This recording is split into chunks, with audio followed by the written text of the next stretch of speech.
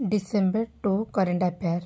National Pollution Control Day December 2 International Day for the Abolition of Slavery December 2 Next World Computer Literacy Day December 2 Author and translator Arshia Sattar conferred with French honor.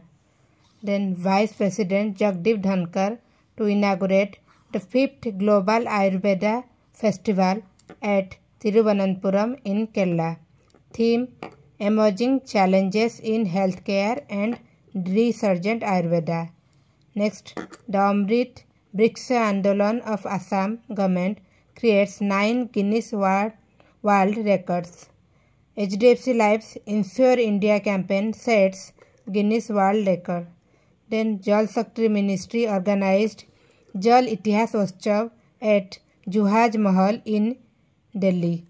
Three anti-submarine warfare ships for Indian Navy launched at Cochin Shipyard. These submarines are Mahe, Malwa and Mangrol.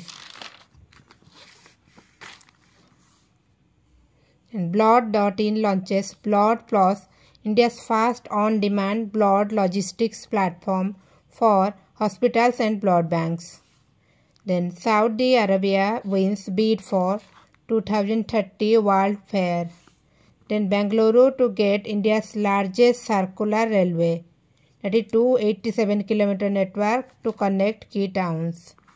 Then Iran unveiled its new and improved hypersonic weapon, the Fattah 2.